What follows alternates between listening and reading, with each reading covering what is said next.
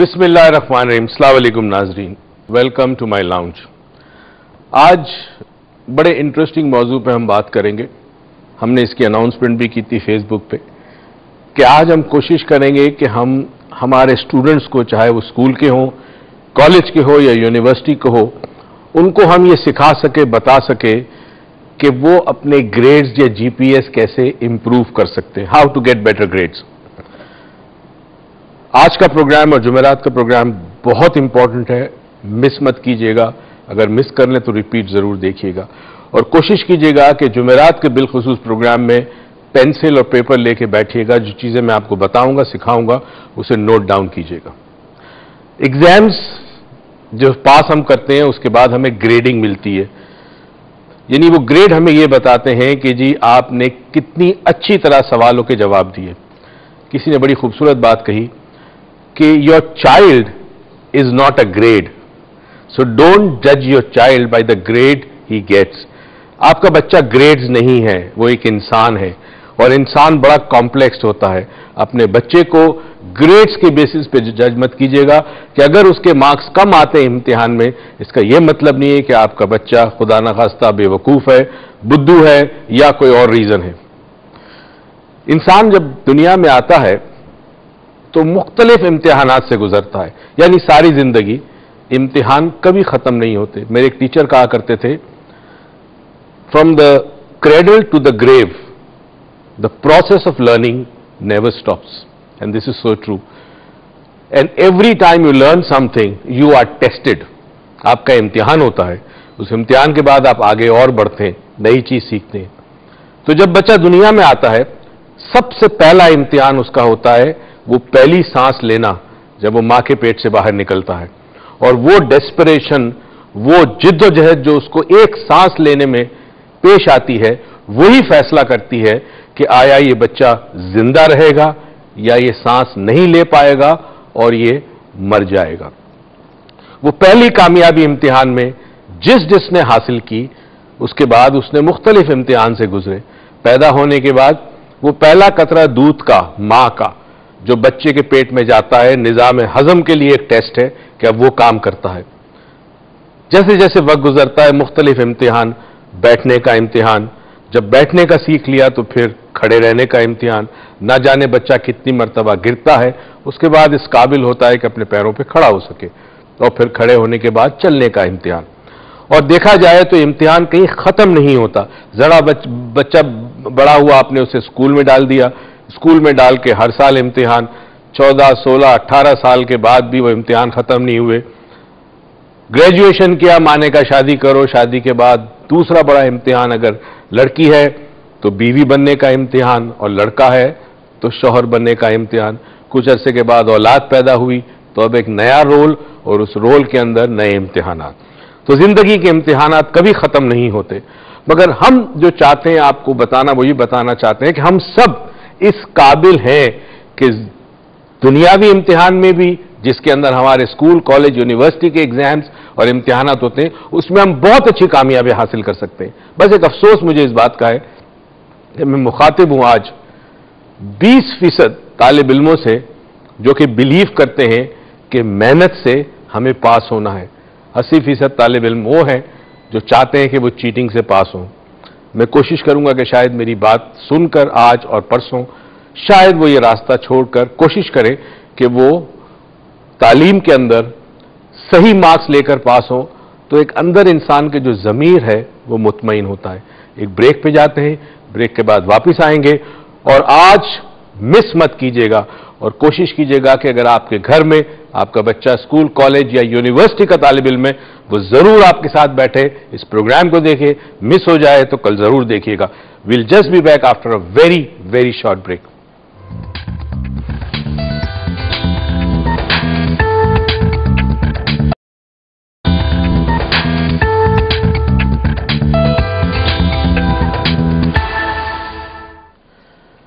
welcome back नाजरीन I am sure बहुत excited होंगे। आप सब। क्योंकि हमारे यहाँ जब इम्तिहान होता है तो असल इम्तिहान बच्चों का नहीं होता, माओ का होता है। और वो इम्तिहान के दौरान जो महीना, दो महीना गुजरते हैं, वो माएँ बड़ी टेंस होती हैं। इनफैक्ट पूरा घर टेंस्ड होता है। ऐसा लगता है जैसे माएँ इम्तिहान देने गई हैं। आज हम प्रोग्राम में बड़ी मेहनत और बड़ी मुश्किल से आए, क्योंकि आज उरूज की तबीयत नासाज थी ज़रा, और उसने बड़ी डिटर्मिनेशन, वो उसके लिए भी टेस्ट था, आज वो टेस्ट में पास हो गई। उसने कहा अच्छा कोई बात नहीं, कुछ भी हो। I know people are waiting for me so I should come और वो प्रोग्राम में आइए। तो आज ज़रा उरूज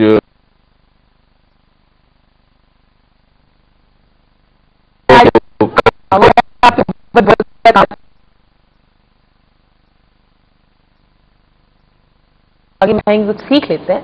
वैसे तो कुछ सीखती नहीं हूँ मन में यहीं पे कुछ सीख लेते हैं। और उसके अलावा वैसे भी मैं अभी सोच रही थी एक बात बैठे बैठे अभी भी मेरे जहन में आई कि हेल्थ टीवी दस बारह साल पहले क्यों नहीं आया? और दस बारह साल पहले किसी ने ग्रेड्स की बात क्यों नहीं की? 10 साल 12 साल पहले करते तो मैं जिस टेंशन से गुजरी हूँ, उस टेंशन से मैं ना गुजरती ना गुजरती। कि जी एग्ज़ाम का रिज़ल्ट आ रहा है और अब्बा से हम छुपा रहे हैं अपने पेपर यार ये क्या हरकत की एक स्पेलिंग से ही नहीं लिख सक रहे थे और उसमें पूरे मार्क्स कट गए। So we'll talk about kids के how to improve your grades how to improve improvise in your studies how to get success in your studies matric के भी शायद पेपर्स हो रहे हैं अभी। तो आए जितने स्टूडेंट्स हैं और अपने जो, जिनके पेरेंट्स हैं वो अपने बच्चों को बिठा दें स्क्रीन के सामने क्योंकि this is a very important show to watch because इसके अंदर आपको पता चलेंगी टिप्स पता चलेंगी कि किस तरह आपने अपने ग्रेड्स को इम्प्रूव करना है। और इतनी प्रेशियस नॉलेज डॉक्टर मोइज आपको दे रहे हैं ना तो सीख लें।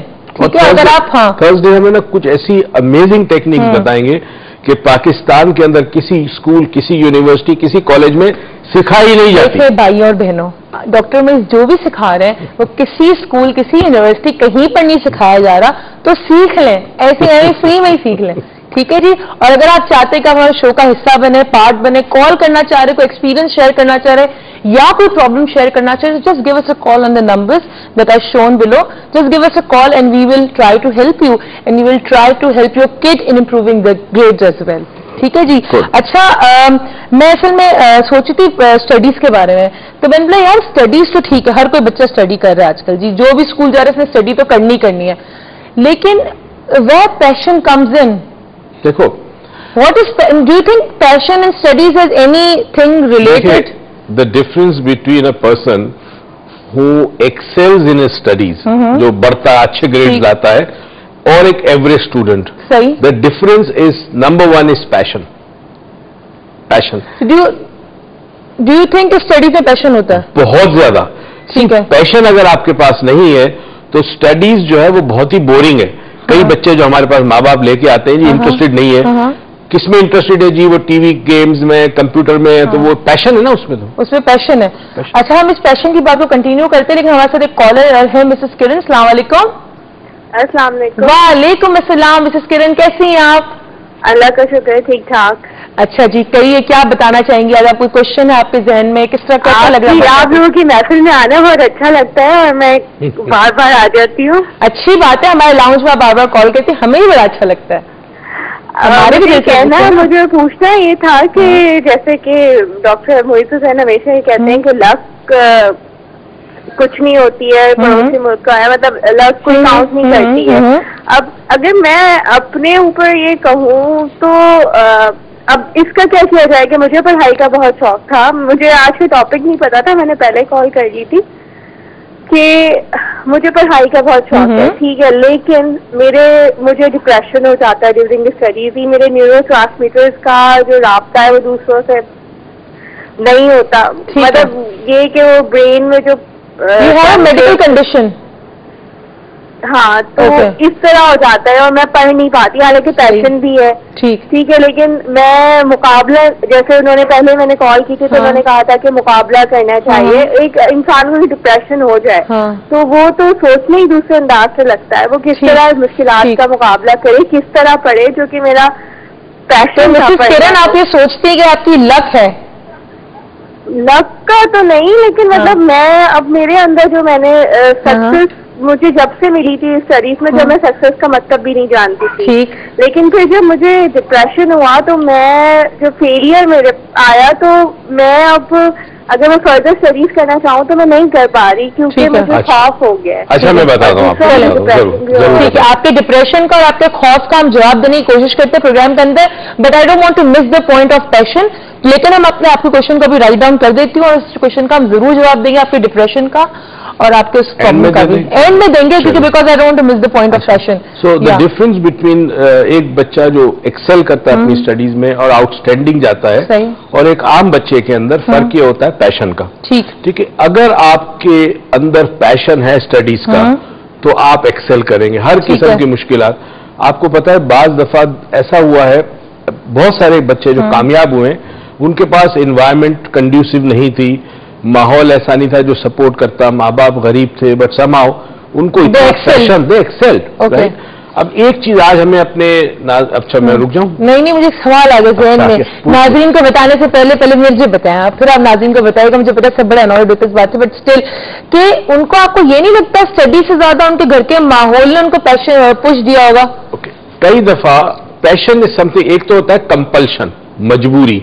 Okay. से घर के हालात ऐसे कि जी मुझे कुछ करना है कुछ ठीक बनना है, ठीक है, ठीक है। मगर उसके लिए भी पैशन चाहिए ना आपको passion is compulsion means needs passion as हाँ कंपल्शन में भी तो पैशन होता है। It's energy is there right So to get anything, you Yeah. need passion first. See, It's like either a fuel. compulsion is negative, हाँ. okay, but again negative also has a force.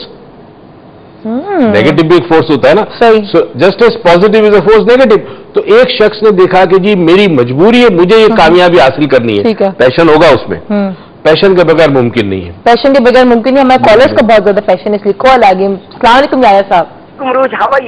Fine आप कैसे हैं? अलहमदुल्ला बड़ी passionate और बहुत strong आवाज़ आई है आपकी। बड़ा मज़ा आया सुनकर मेरे पैशन है कि मैं हमेशा कॉल मिलाता हूँ और मेरी मिल जाती है। अल्लाह का शुक्र है। बहुत अच्छा अच्छा आपकी आवाज़ सुनकर हमें बड़ा मज़ा मिलता है। नहीं माशाल्लाह आप लोग दोनों इतना अच्छा प्रोग्राम कर रहे हैं। दोनों बाप.